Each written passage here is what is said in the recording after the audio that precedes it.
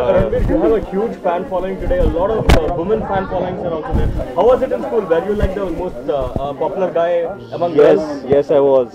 so, so I was always the performer. I was always uh, in the in the popular bunch.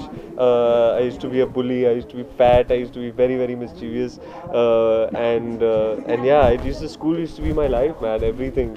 Uh, Learners Academy. I was uh, here for the entire duration of my schooling years, 15 years. Uh, I passed out of here as the head boy. Uh, so I'm very very proud that I can come back and uh, be a part of a function like this. Um, and yeah, it feels amazing to see all the people that you've grown up with. Um, you know, all the staff, all the, all my teachers, and uh, it's it's just I'm, I can see, I can feel that they you know have this sense of pride uh, when they see me, and that feels really wonderful. I hope that you know it's your parents, it's your teachers, it's uh, it's the people who who were such a involved in building your foundations as a person.